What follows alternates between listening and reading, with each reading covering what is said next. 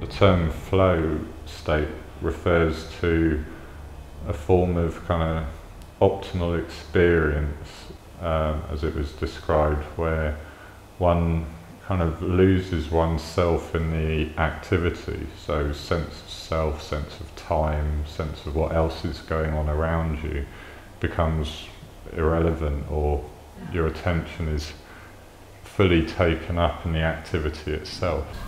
So, being so involved in an activity that nothing else seems to matter. Um, and this is an extremely good example of an activity which kind of demands a flow state, or at least a high level of play. Um, just talking to you takes up a lot of processing power and a lot of attention.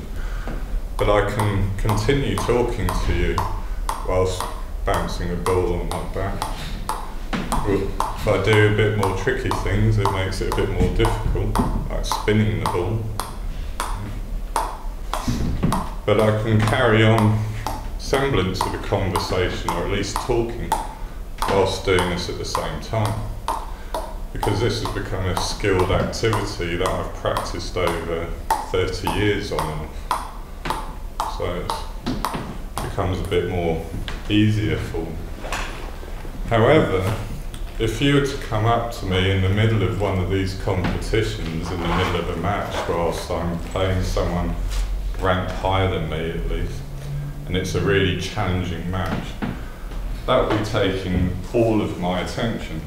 So if you broke that attention to, hi Damian kind of thing in the middle of a point, you'd probably get quite a short, sharp reaction, or you may not get any reaction at all, because I'll be just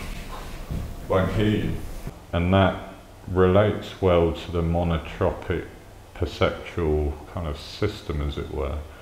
So, um, and being in a flow state can be very beneficial and reduce stress. So, um, the more you practice something and it becomes kind of a learned habit, the less demanding that activity is. So, riding a bike would be the obvious example kind of there. Um, losing awareness of sense of oneself, uh, a sense of control over one's actions, and a reduction in anxiety about possible failure. Now, if you think of this in the context of autistic people, this is quite a central thing a sense of control over one's actions. That sense of control, autonomy, predictability, if you get all of these things going at the same time and you feel in control rather than everything around you being chaotic and anxiety provoking, this is a rather rewarding thing to feel.